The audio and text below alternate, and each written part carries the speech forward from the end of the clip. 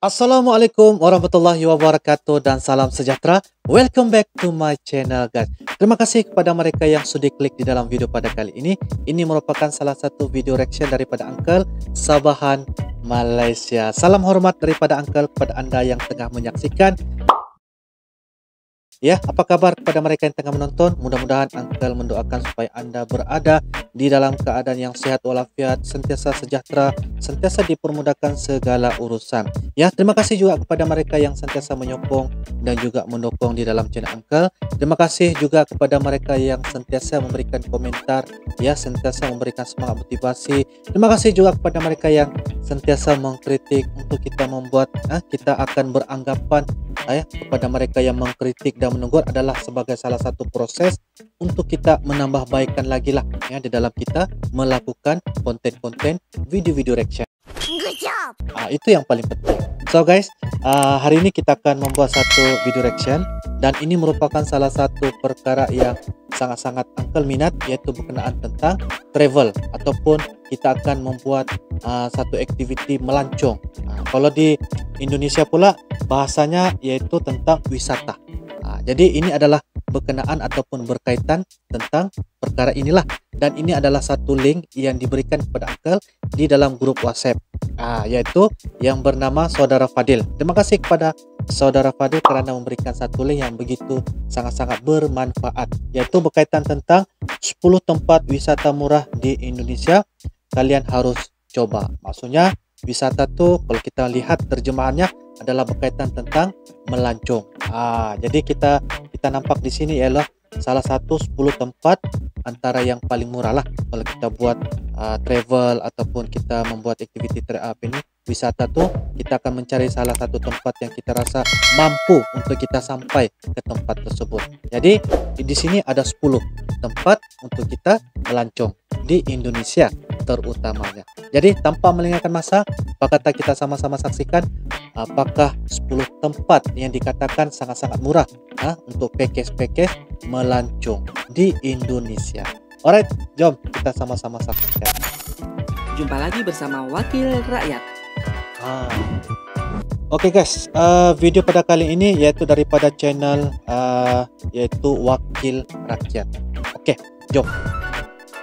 Indonesia merupakan salah satu negara di dunia yang kaya akan objek wisata menarik di dalamnya. Berbagai macam objek wisata bisa kita temukan di Indonesia dengan mudah. Biasanya, budget yang harus disiapkan untuk menunjang liburan tentunya membutuhkan budget yang tidak sedikit. Terlepas dari itu semua, ternyata Indonesia memiliki beragam destinasi wisata asik yang masih memberikan harga murah bagi siapa saja. Penasaran oh, dengan objek okay. wisata murah yang ada di Indonesia?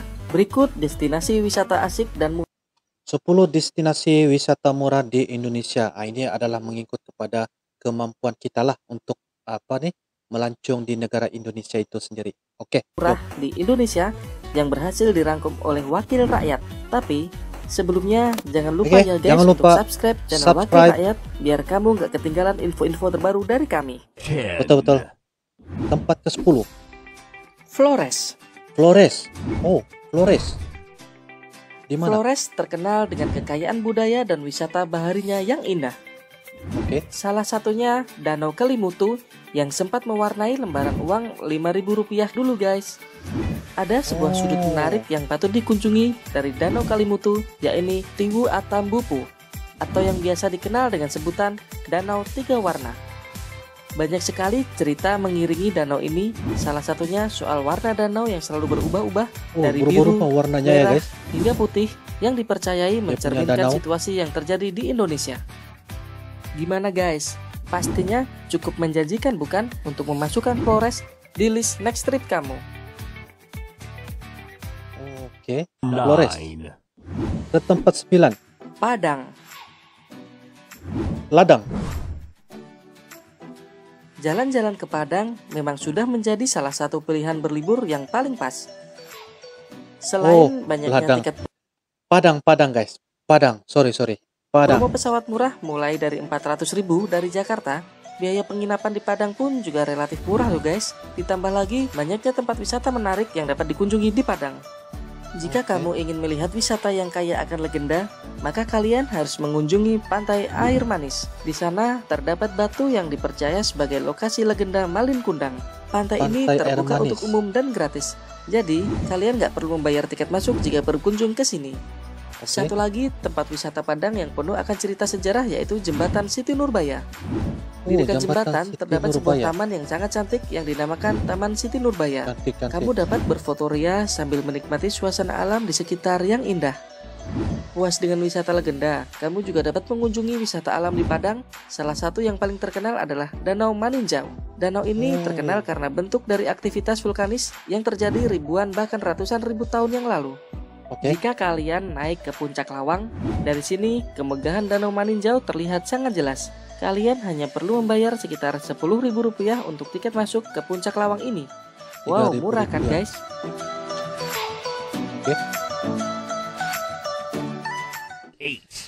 Tempat ke-8. Berau. Berau.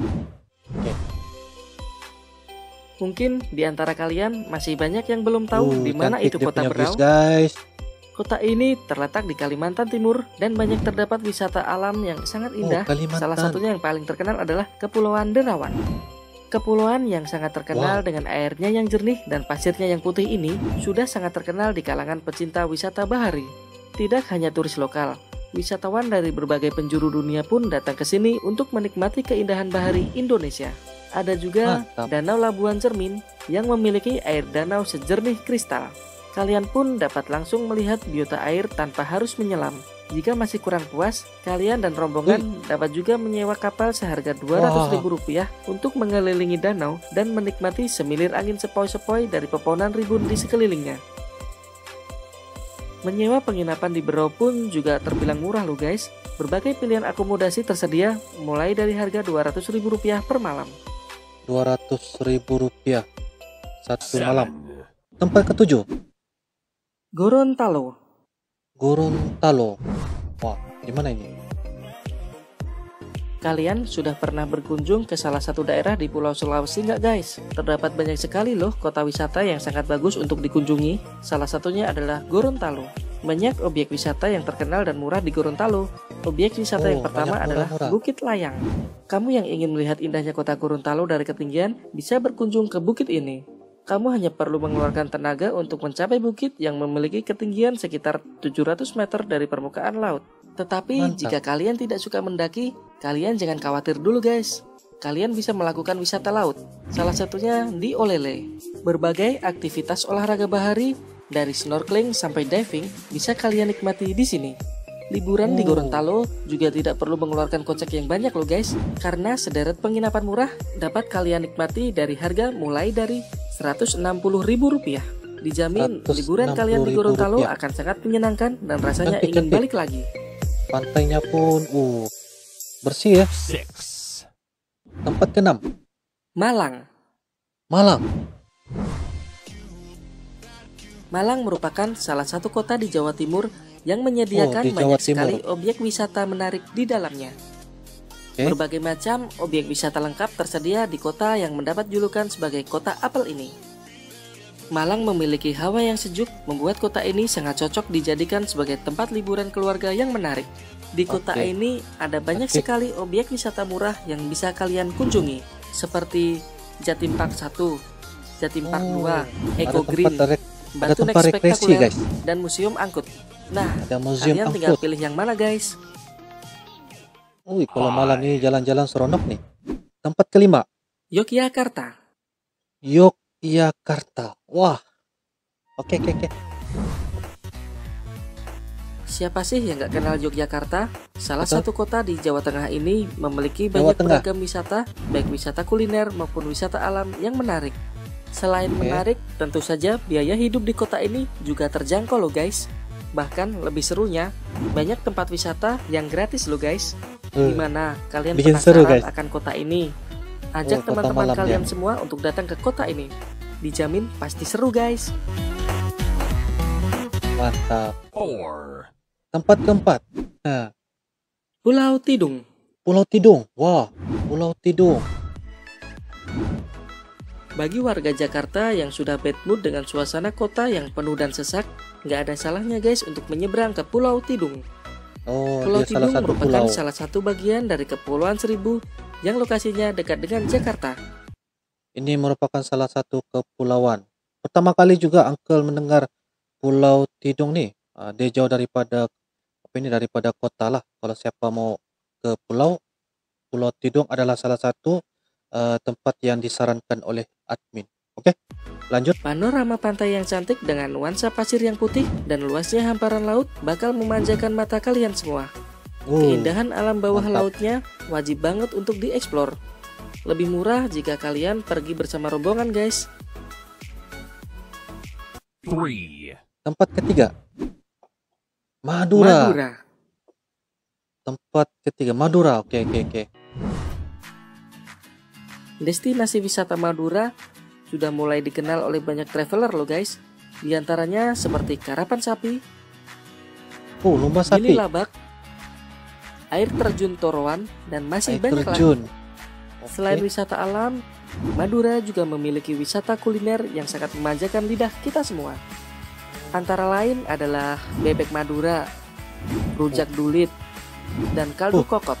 Dan tentunya harganya bersahabat dengan kantong guys. Makanannya, Meski guys. jarak dari satu tempat wisata ke tempat wisata lainnya cukup jauh, namun kalian gak akan menyesal menghabiskan waktu liburan di sini. Terbaik, terbaik. Tempat kedua, tadi tempat ketiga ya, guys. Banyuwangi, Banyu Banyuwangi. Pertama kali juga dengar nih.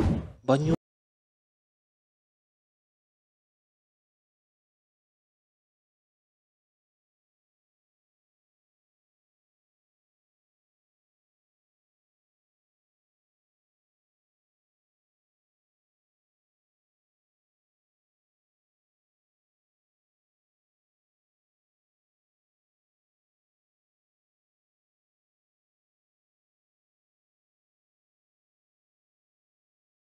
tempat eh, disarankan oleh admin. one, Tempat pertama, guys. Solo. Solo. Solo. sebagai salah satu kota yang menjadi pusat para pelajar untuk menimba ilmu, Solo mempunyai biaya hidup yang murah.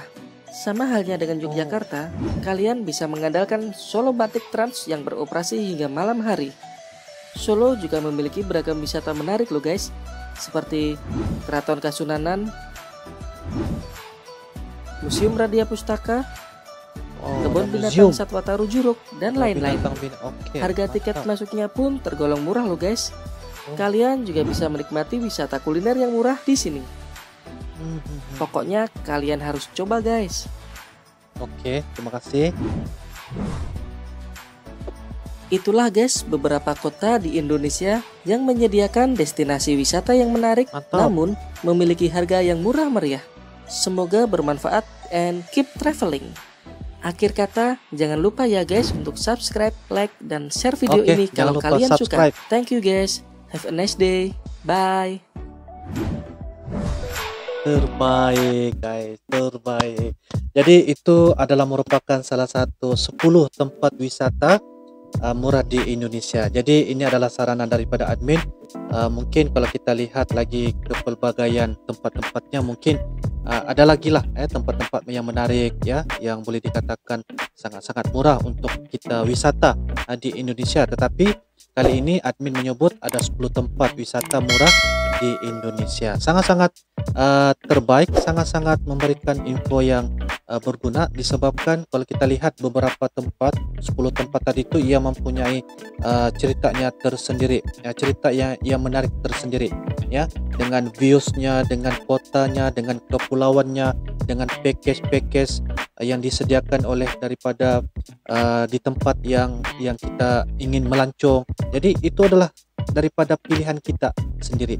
Jadi apa yang paling penting di sini uh, mungkin insya Allah ya kalau kita ada peluang insya Allah ada kesempatan dengan berakhirnya ah, kalau kita lihat sekarang pandemi COVID-19 ah, mudah-mudahan kita selepas ini kita akan dapat uh, dapat orang kata membuat uh, ini melancong ah, seperti biasa kita pergi ke tempat-tempat yang menarik untuk kita melihat kebudayaan dan juga uh, apa ini uh, kekaguman kita terhadap di tempat-tempat yang bagi kita untuk kita lawat uh, sebagai salah satu untuk kita uh, memberikan wah ini adalah satu benda kita rasa sangat-sangat hebat. Ah itu yang penting ya. Terima kasih kepada admin daripada uh, wakil rakyat uh, disebabkan infonya itu mungkin kita akan jadikan sebagai satu sumber sumber rujukan dan juga panduan. Terima kasih kepada sahabat angkel, saudara Fadil disebabkan Anda memberikan link untuk kita sama-sama reaction. Terima kasih kepada mereka yang menghabiskan masa untuk melihat video ini sehingga selesai. Terima kasih kepada mereka yang sentiasa menyokong dan turunkan komentar Anda. Jangan lupa follow Uncle, like, comment, share dan yang paling penting subscribe channel Uncle. Oke, terima kasih. Turunkan komentar Anda. Jangan lupa kita akan jumpa lagi di next video akan datang. Thanks for watching. Assalamualaikum warahmatullahi wabarakatuh. Bye bye.